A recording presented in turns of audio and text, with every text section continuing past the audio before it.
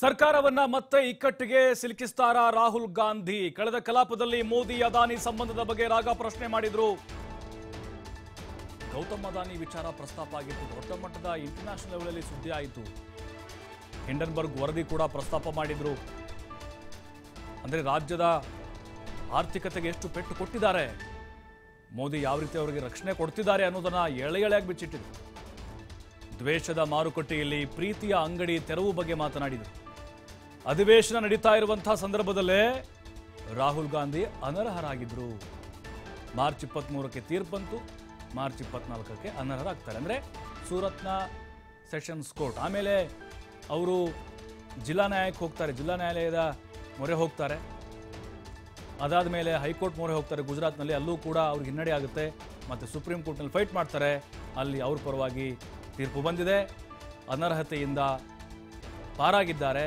ಜೈಲು ಶಿಕ್ಷೆಯಿಂದ ಕೂಡ ಪಾರಾಗಿದ್ದಾರೆ ತರಾತುರಿಯಲ್ಲಿ ರಾಗ ಅನರ್ಹತೆಗೆ ವಿಪಕ್ಷಗಳು ಕೂಡ ಕೆಂಡಾಮಂಡರಾಗಿದ್ವು ತೀರ್ಪು ಬಳಿಕ ರಾಗ ಸದಸ್ಯತ್ವ ಪುನರ್ಸ್ಥಾಪನೆ ವಿಳಂಬ ಆಗೋ ಸಾಧ್ಯತೆಗಳಿದೆಯಾ ಅನ್ನುವಂಥ ಪ್ರಶ್ನೆ ಈಗ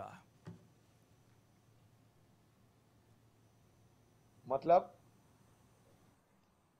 सर्वोच्च न्यायालय ये कह रहे हैं कि राहुल गांधी जी को जो कन्विक्शन उनके ऊपर लगे हुए थे वो स्टे कर दिया गया। इसका मतलब क्या होते हैं? दोबारा उनको वापस सदन की काम काज में भाग लेने की अवसर मिल जाते हैं। और इसके पहले जो जिम्मेवारी बनते हैं, स्पीकर साहब की सेक्रेटरिएट को, उसको इस मुद्दे को संज्ञान में लेते हुए जिस त्वरित गति से, जिस रफ्तार से राहुल जी की राहुल जी का सदन से सदस्य पद खारिज करने के लिए तत्परता दिखाई, वही तत्परता राहुल जी के वापस के लिए ज़रूरी है। तो इसी के चलते मैं, भाई, लाइट बंद कर दीजिए। इसके चलते मैं कल स्पीकर साहब को रात में फ़ोन भी किए थे। ये कहते हुए कि स्पीकर साहब, राहुल गांधी जी की सदन में वापसी करने हेतु कुछ कोर्ट की जो कागजात है, जो डॉक्यूमेंट है, आपको पास वहाँ सौंपना चाहते हैं। हमारा चिट्ठी भी आपको देना चाहते हैं। तो आप मुझे इजाज़त दे आपको घर जाए।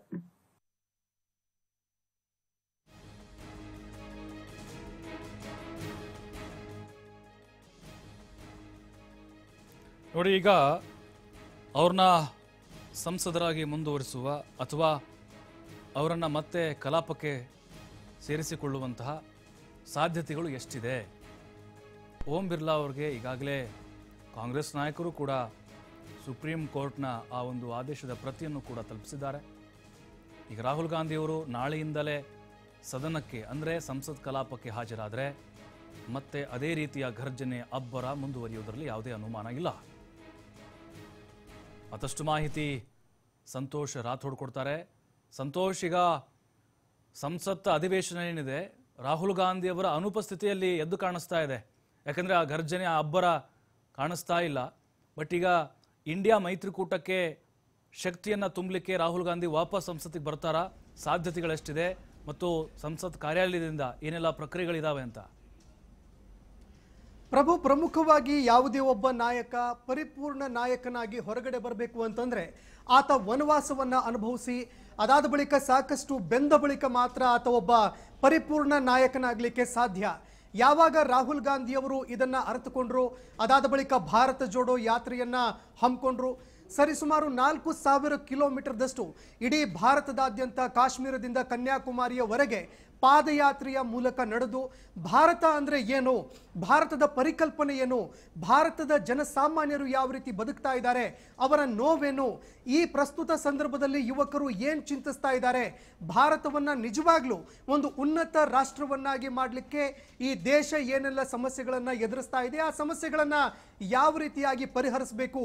ಈ ಎಲ್ಲ ವಿಷಯಗಳಿಗೆ ಸಂಬಂಧಪಟ್ಟಂತೆ ಒಂದು ಕಡೆಯಲ್ಲಿ ಈ ದೇಶದ ಸೈನಿಕರನ್ನ, ಮಾಜಿ ಸೈನಿಕರನ್ನ ಕೂಡ ರಾಹುಲ್ ಗಾಂಧಿ ಭೇಟಿ ಮಾಡಿ ಮಾತನಾಡಿದ್ರು. ಅದಾದ ಬಳಿಕ ಯುವಕರೊಂದಿಗೆ ಮಾತನಾಡಿದ್ರು. ಯುವತಿಯರ ಜೊತೆಯಲ್ಲಿ ಮಾತನಾಡಿದರು. ವಯಸ್ಕರ ಜೊತೆಯಲ್ಲಿ ಅನೇಕ ಯುವ ನಾಯಕರ ಜೊತೆಯಲ್ಲೂ ಕೂಡ ಮಾತನಾಡಿ ದೇಶ ಏನು ಅನ್ನುವಂಥದ್ದನ್ನ ಅರ್ತುಕೊಂಡ್ರು. ಅದಾದ ಬಳಿಕ ರಾಹುಲ್ ಗಾಂಧಿಯವರ ರಾಜಕೀಯ ಭವಿಷ್ಯ ಬಹಳಷ್ಟು ಉಜ್ವಲವಾಗಿದೆ ಅನ್ನುವಂತಹ ಮಾತುಗಳು ಕೂಡ ಆರಂಭ ಆಗಿತ್ತು. ಚರ್ಚೆಯೂ ಕೂಡ ಆಗ್ತಾ ಇತ್ತು. ಆದರೆ ಯಾವಾಗ ರಾಹುಲ್ ಗಾಂಧಿಯವರು ದ್ವೇಷದ ಮಾರುಕಟ್ಟೆಯಲ್ಲಿ ಪ್ರೀತಿಯ ಅಂಗಡಿಯನ್ನು ನಾನು ತೆರಲಿಕ್ಕೆ ಹೋಗ್ತಾ ಇದ್ದೀನಿ. ಈ ದೇಶವನ್ನು ನಾನು ಸುತ್ತಿದ್ದೀನಿ. ದೇಶದ ಜನರನ್ನು ನಾನು ಭೇಟಿಯಾಗಿದ್ದೀನಿ. ನಿಜವಾಗ್ಲೂ ಕೂಡ ಈ ದೇಶದ ಜನರಲ್ಲಿ ಪ್ರೀತಿ ಅನ್ನುವಂಥದ್ದಿದೆ. ಎಲ್ಲೂ ಕೂಡ ಧಾರ್ಮಿಕ ದ್ವೇಷ ಇಲ್ಲ ಅನ್ನುವಂತಹ ಒಂದು ಮಾತನ್ನ ರಾಹುಲ್ ಗಾಂಧಿ ಅವರು ಹೇಳ್ತಾರೆ. ಅದಾದ ಬಳಿಕ ಸದನದಲ್ಲೂ ಕೂಡ ಕಳೆದ ಬಾರಿ ಯಾವಾಗ ಸದನ ನಡೆಯುತ್ತೆ? ಈ ಸಂದರ್ಭದಲ್ಲೂ ಕೂಡ ನಿರಂತರವಾಗಿ ಇದೇ ಮಾತುಗಳನ್ನ ರಾಹುಲ್ ಗಾಂಧಿ ಪ್ರಸ್ತಾಪ ಮಾಡ್ತಾ ಇದ್ರು. ಈ ದೇಶದ ಜನರಲ್ಲಿ ಅವರ ಅಂತರಾಳದಲ್ಲಿ ನಾನು ಪ್ರೀತಿಯನ್ನ ಕಂಡಿದ್ದೀನಿ. ಯಾರಲ್ಲೂ ಕೂಡ ದ್ವೇಷ ಇಲ್ಲ. ಮತ್ತೊಂದು ಕಡೆಯಲ್ಲಿ ಪ್ರಧಾನಿ ಹಾಗೂ ಅದಾನಿಯ ನಡುವೆ ಇರುವಂತಹ ಸಂಬಂಧ ಏನು? ಮತ್ತೊಂದು ಕಡೆಯಲ್ಲಿ ವಿದೇಶದಿಂದ ಹಲವಾರು ಕಂಪನಿಯಿಂದ ಹಣ ಬರ್ತಾ ಇದೆ ದೇಶಕ್ಕೆ. ಈ ಹಣ ಯಾರ್ದು? ಮತ್ತೊಂದು ಕಡೆಯಲ್ಲಿ ಎಲ್ಲಿಗೆ ಹೋಗ್ತಾ ಇದೆ ಈ ಹಣ? ಇನ್ನು ಅದಾನಿ ಕಂಪನಿಗಳಲ್ಲಿ ಹೂಡಿಕೆ ಮಾಡಿದಂಥವ್ರು ಯಾರು?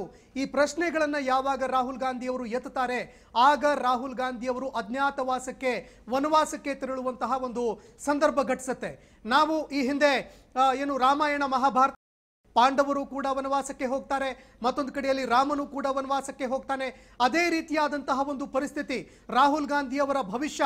ಅಳಿವು, ಉಳಿವಿನ ಒಂದು ಪ್ರಶ್ನೆ ಕೂಡ ಈ ದೇಶದಲ್ಲಿ ಉದ್ಭವವಾಗಿತ್ತು. ಅದೇ ರೀತಿಯಲ್ಲಿ ಎಂಟು ವರ್ಷಗಳವರೆಗೆ ಅವರ ರಾಜಕೀಯ ಭವಿಷ್ಯ ಸಂಪೂರ್ಣವಾಗಿ ಅತಂತ್ರವಾಗಿತ್ತು. ಯಾವಾಗ ಸುಪ್ರೀಂ ಕೋರ್ಟ್ನಲ್ಲಿ ಈ ಒಂದು ಪ್ರಕರಣ ಬರುತ್ತೆ? ಸುಪ್ರೀಂ ಕೋರ್ಟ್ ಈ ಒಂದು ಪ್ರಕರಣಕ್ಕೆ ಸಂಬಂಧಪಟ್ಟಂತೆ.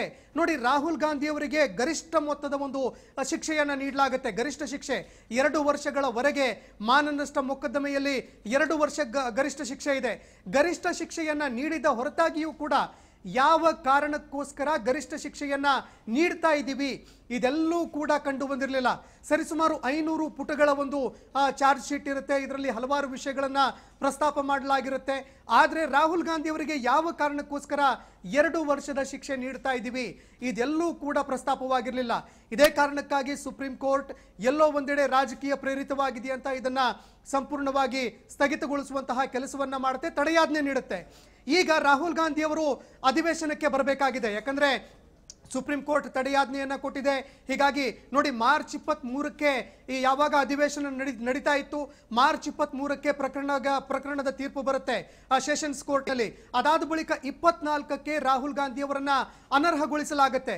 ಹೀಗಾಗಿ ಲೋಕಸಭೆಯ ಏನು ಕಾರ್ಯಾಲಯ ಇದೆ ಈಗ ಏನಾದರೂ ತ್ವರಿತ ರೀತಿಯಲ್ಲಿ ಕೆಲಸ ಮಾಡುತ್ತಾ ಅಂತ ಒಂದೆಡೆ ಕಾಂಗ್ರೆಸ್ ನಾಯಕರು ಪ್ರಶ್ನೆ ಮಾಡ್ತಾ ಇದ್ದಾರೆ. ಮತ್ತೊಂದು ಕಡೆಯಲ್ಲಿ ಹಲವಾರು ರೀತಿಯಲ್ಲಿ ಕಾಂಗ್ರೆಸ್ನ ಟ್ವಿಟರ್ ಹ್ಯಾಂಡಲ್ನಲ್ಲೂ ಕೂಡ ನಾವು ನೋಡ್ತಾ ಇದ್ದೀವಿ ರಾಹುಲ್ ಗಾಂಧಿ ಅವರ ಕಮ್ ಬ್ಯಾಕ್ಗಾಗಿ ಈಗ ತುದಿಗಾಲಲ್ಲಿ ನಿಂತಿದ್ದಾರೆ. ಇನ್ನು ಮತ್ತೊಂದು ಕಡೆಯಲ್ಲಿ ಅಧಿವೇಶನಕ್ಕೆ ಬಂದಿದ್ದೇ ಆದ್ರೆ ಪ್ರಮುಖವಾಗಿ ಮಣಿಪುರ ಹಾಗೂ ಮತ್ತೊಂದು ಕಡೆಯಲ್ಲಿ ಪ್ರೀತಿ, ಪ್ರೇಮದ ವಿಷಯವನ್ನು ಕೂಡ ಅವರು ಪ್ರಸ್ತಾಪ ಮಾಡುವಂತಹ ಸಾಧ್ಯತೆ ಇದೆ. ಇನ್ನು ಮತ್ತೊಂದು ಕಡೆಯಲ್ಲಿ ಅದಾನಿ ವಿಷಯಕ್ಕೂ ಪ್ರಸ್ತಾಪ ಮಾಡುವಂತಹ ಸಾಧ್ಯತೆ ಇದೆ. ಹೀಗಾಗಿ ಆಗಸ್ಟ್ ಹನ್ನೊಂದರ ಒಳಗೆ ಅವರನ್ನ ಮತ್ತೆ ಸಂಸದರನ್ನಾಗಿ ನೇಮಕ ಮಾಡೋದು ಬಹುತೇಕವಾಗಿ ಪ್ರಶ್ನಾರ್ಥಕ ಅನ್ನುವಂತಹ ಮಾತುಗಳು ಕೂಡ ಕೇಳ ಬರ್ತಾ ಇದೆ. ಹೀಗಾಗಿ ನೋಡಬೇಕಾಗತ್ತೆ, ಏನೆಲ್ಲ ಆಗತ್ತೆ ಮುಂದಿನ ದಿನಗಳಲ್ಲಿ. ನಾಳೆ ರಾಹುಲ್ ಗಾಂಧಿ ಅವರು ಕಮ್ ಬ್ಯಾಕ್ ಮಾಡ್ತಾರಾ? ಕಾದ್ ನೋಡಬೇಕಾಗತ್ತೆ ಪ್ರಭು. Thank you Santosh. ಮಾಹಿತಿಗಾಗಿ